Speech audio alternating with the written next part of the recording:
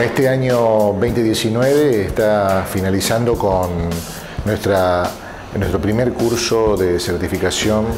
eh, sobre código de protección de barcos e instalaciones portuarias, el código PBIP, requiere la Organización Marítima Internacional para certificar la seguridad en los puertos. Lo que hemos realizado fue un curso de protección de buques e instalaciones portuarias, el curso básico de PBIP, eh, se dio acá las instalaciones del Centro de Estudios Portuarios del, este, ente portuario eh, de Rosario con la asistencia de nutridos participantes, todos ellos relacionados con el quehacer portuario, ya que este, la prefectura lo que establece como autoridad de aplicación del código PIP es la exigencia que toda aquella persona que realice algún tipo de actividad en zona portuaria, en las distintas instalaciones portuarias, deban estar registradas y tener aprobado este curso de protección de buques e instalaciones portuarias. Eh, consistió en 12 horas cátedra, en total de 4 jornadas, y después el examen eh, realizado en instalaciones de la Prefectura Rosario para obtener el diploma justamente que fue el corolario de este curso. Este curso es una exigencia eh, establecida a nivel internacional por, eh, a través del Código de Protección de Buques e Instalaciones Portuarias, donde eh, en el país la autoridad de aplicación es la Prefectura Naval Argentina y la prefectura en cierta forma delega algún tipo de funciones como el dictado de curso en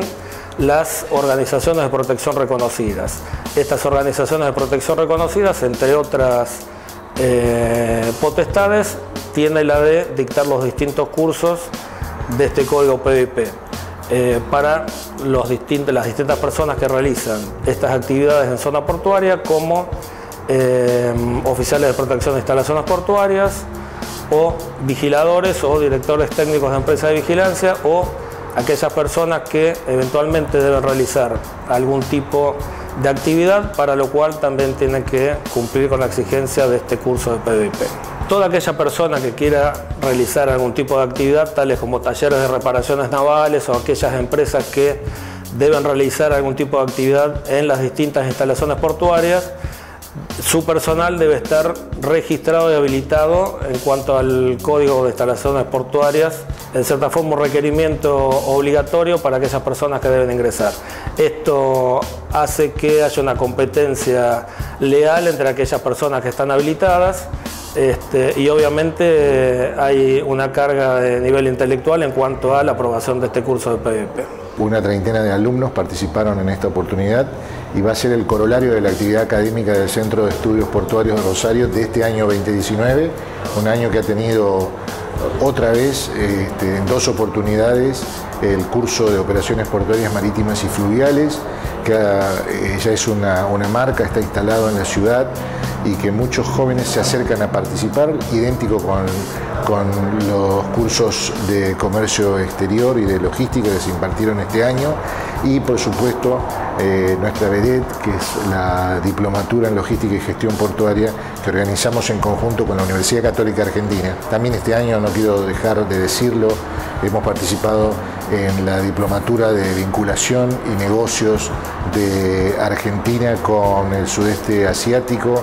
una diplomatura que se organiza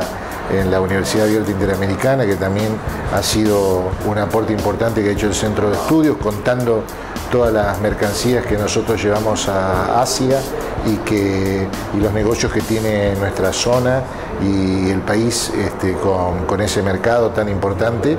Así que bueno, eh, contentos, muy, muy contentos, muy alegres de que el Centro de Estudios siga siendo el aporte académico que tanto hace falta para acompañar el crecimiento del puerto de todos los rosarinos. Así que en nombre de todos quienes conformamos el Centro de Estudio, les deseo un feliz y año 2020 y que sigan creciendo nuestros puertos y nuestras instalaciones portuarias.